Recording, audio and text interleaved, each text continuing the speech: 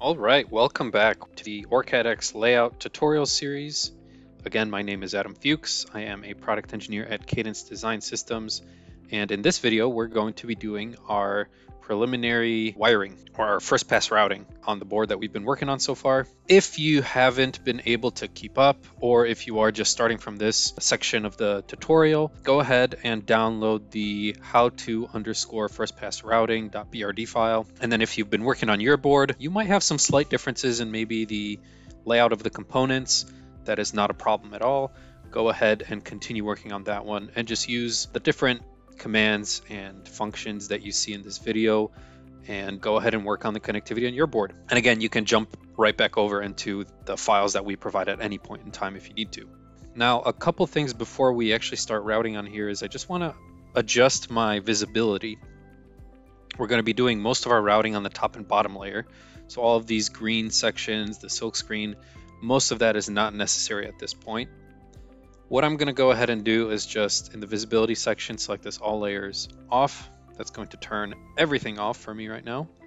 And then I want to turn on just my conductive layers. Let's get the top layer on there. And I also want to have my conductor keep in so that I know what is the edge of how far I can actually route my traces. Now this is good enough to just start routing as is.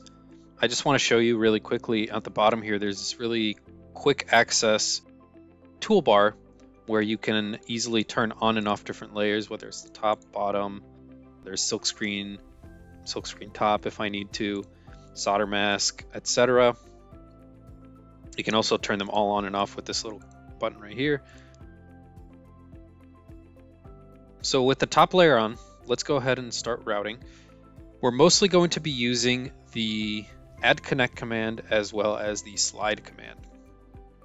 Now by default, add connect is bound to the W hotkey and the slide command is bound to the S hotkey. It's very easy to switch between the two. And you'll notice me sort of jumping around between them fairly often. I might also make some slight adjustment to some of the placement of my components. Like I can already see that this one right here is 100 degrees rotated in the wrong direction. So I'm just going to go into the move command. Let's turn on my silkscreen top so I can see which component I'm working with. And let's go ahead and rotate that. So for add connect, let's start over here. There's two basic modes, manual mode and assisted route mode. In manual mode, I can basically start wiring from, well, let's make sure that our filters are correct. I'm going to turn on just my traces, pins, and vias as those are the only objects that I actually want to route from. But as I was saying, while in manual route mode, I can basically start routing from any pin, any wire, any trace, any via, and it's not going to get in the way of me completing that trace. For example, I can place it right there, I can place it right there, and back. And you'll notice that what it does is it just drops DRCs to let me know that, hey, I violated one of my design rules. As I'm you know, hovering a trace over a section, you'll notice that the trace also turns white and the mouse turns into a bow tie, indicating that, hey, this will cause a DRC. Now, as I start adding a bunch of these vertices, I don't have to restart my wiring at any point. I can just hit the backspace hotkey, and it's going to remove one vertex at a time until I get back to my original starting location. So let's go ahead and complete that connection. In assisted mode, if I were to start routing from, let's say, this pin right here, it's going to actually either hug or shove around a pin or via or whatever else it might find in the way, and then allow you to continue wiring in order to avoid DRCs. So let's go ahead and click that in there.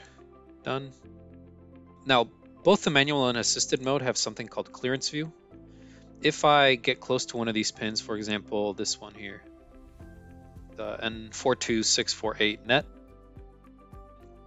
and I start wiring from here, you'll notice these little bumpers start to appear around the different pins.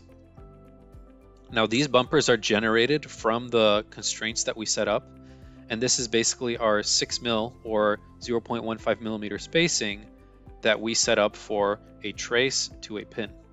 And again, if I switch to assisted mode, you'll notice that all of the hugging happening around the pin or other copper feature is in line with that clearance view. So again, we can complete our routing.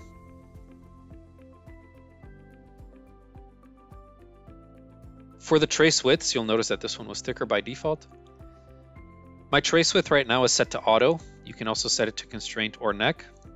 And when it's in auto, it's basically just always going to try to use the constraint value if it can, or use a thinner value if it needs to. One other thing I want to mention is that while in neck mode, if I switch over to this VBAT, for example, you'll notice that the trace is thinner. But if we go too far,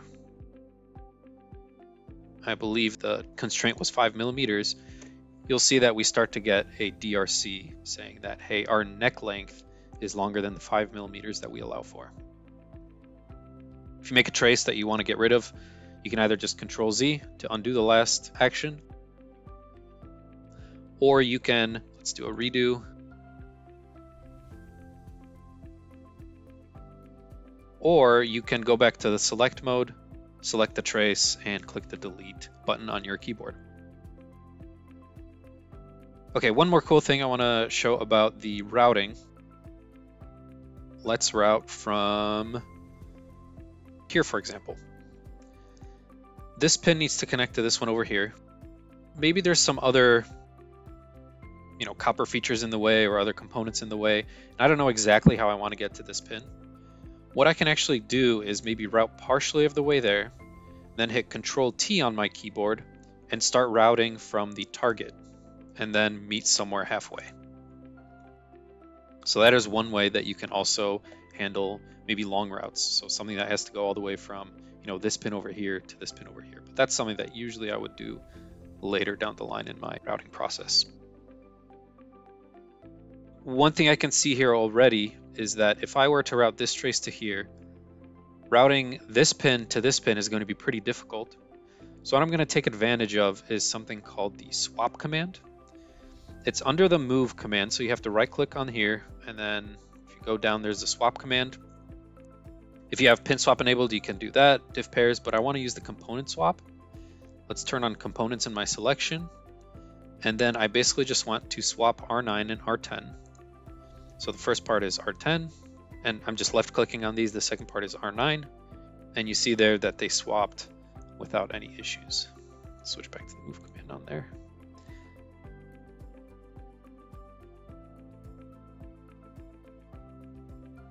The auto mode for my trace width.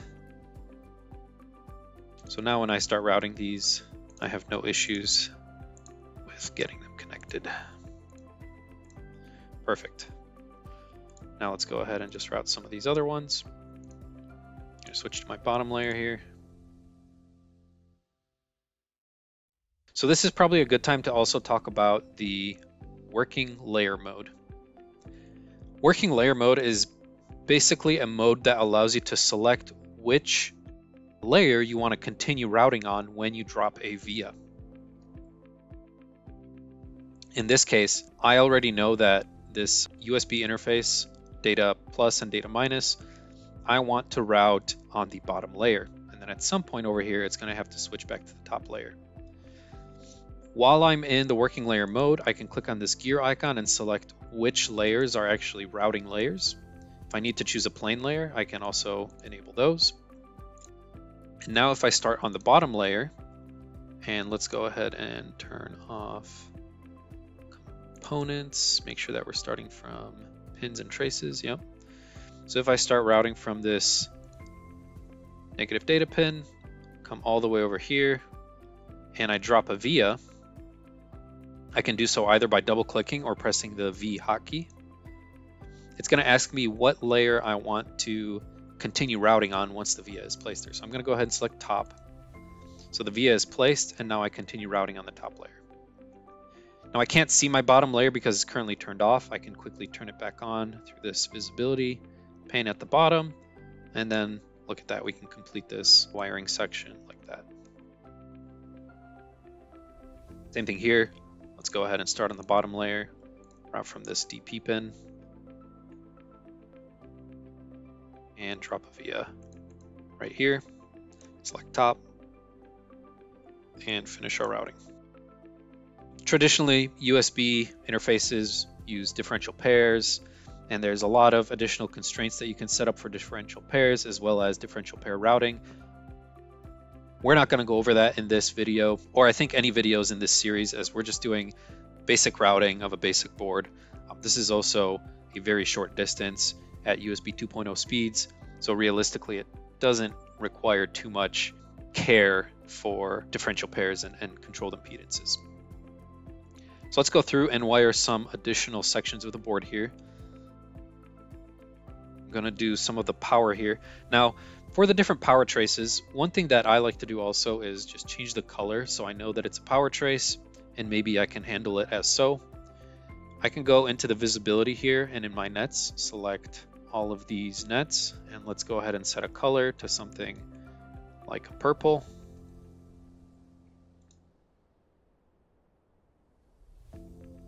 This will just make it easier for me to recognize these as power nets. And then for the ground, I'm just gonna do another color here. Let's make it a orange color. Again, this just makes it easier for me to recognize what sort of nets I'm dealing with in my design. Okay, so let's connect up some of these. Also, this visibility pane, if you have your visibility set up to how you need it to be, you can actually go ahead and just hide it with this auto hide and it'll give you this tab that you can just click to enable and disable the visibility pane whenever you need to. Let's do some more routing here. Again, we're just doing rough routing to make sure everything can connect. And in the next video, we're going to be doing some second pass routing and some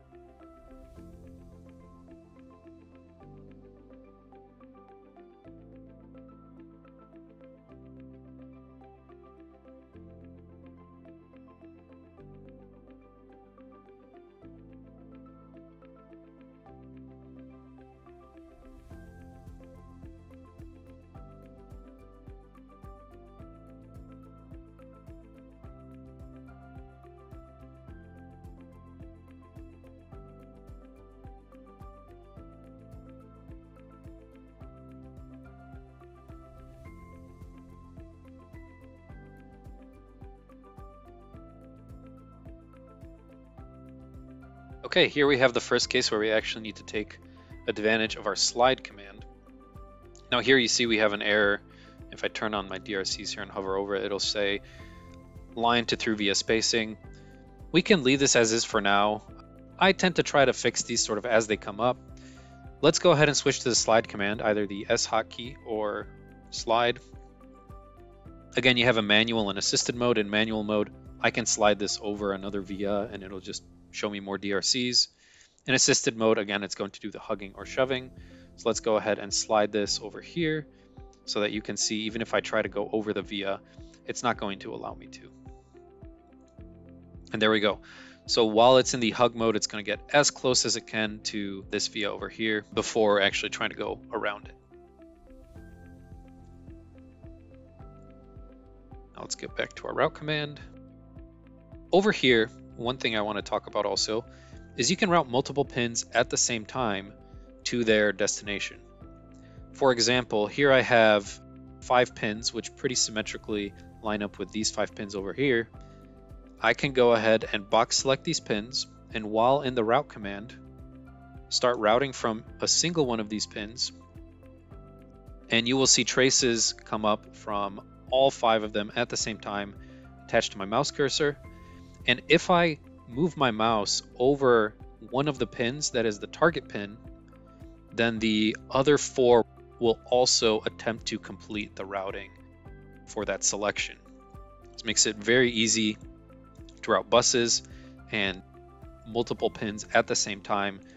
Again, it can save you time or it can be helpful if you don't know exactly how much space you need for a channel of a bus or something like that, just to quickly route all of them together at the same time. And it'll space them together, especially in assisted mode, just to make sure that it doesn't violate any DRCs. Here I might want to slide this trace a little bit just to clean that up. And then same thing, if you have two pins, which you need to have vias dropped, same thing, you can start routing them together, press V, go to the layer where you want to drop your vias, continue your routing, and same thing. It'll just continue routing and place both of the vias for both of the traces for you.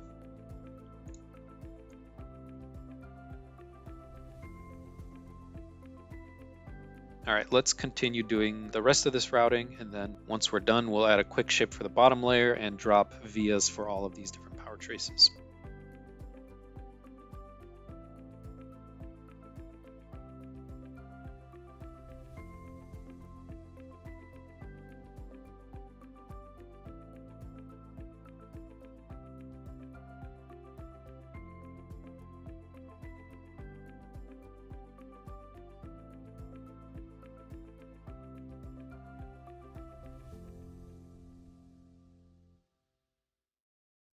One other thing I want to mention really quick, if you are routing in some sort of diagonal fashion, trying to find a good example here, let's say from, from this pin to this pin over here, I'm going to drop a via really quick. And then we want to go over here, but maybe we don't want to go up and then to the right. Maybe we want to go to the right and then up. Rather than trying to finagle with the tool to try to get it to you know automatically figure that out, you can simply just press the T hotkey and it'll toggle between up and to the right to to the right and then up. This is a quick way to toggle between the two different connection paths that the tool automatically recognizes. So again, we'll drop a via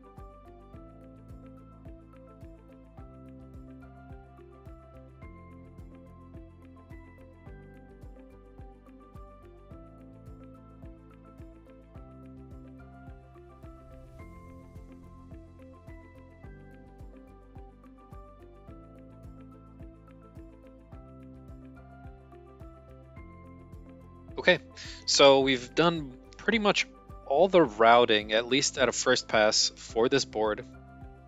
Now, as you may have noticed towards the end of the video, I started using this unrouted nets over here just to let me know, you know, hey, what am I still missing in my routes that I need to connect up? Likewise, there is an unrouted connections, and if I click on this, you'll notice that all of these connections are these different ground stubs that I've been dropping for all my different caps, resistors, pins on ICs, etc. And we're just going to create a simple shape on the second layer to connect all of these together. Now we're also not going to go into great depth and detail about the shape command in OrCAD X layout because we're going to be using it quite extensively in the next video. So let's go ahead and drop the shape here. The shape command is accessible through this hotbar on the left side here and you simply click the add shape. You also have an option to create voids, and then there is a shape utilities command if you need it. I'm going to click add shape. You can choose between rectangle, circle, polygon, and then which layer you want to add it on. Again, you're not limited to just conductors. You can also add different geometries on, for example, reference layers where you might want to just add some some simple drawings. But we want to put this on layer two. I'm going to go ahead and turn off these layers, just turn layer two on. And for the net, you can either select from the dropdown which net you want, or just use the eyedropper, click on a ground net in this case, and let's start drawing our shape.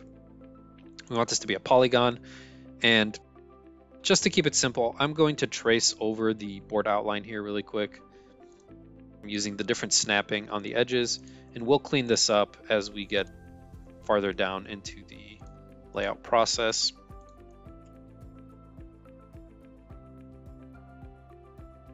And then we'll use that board shape also as a reference for other shapes as well.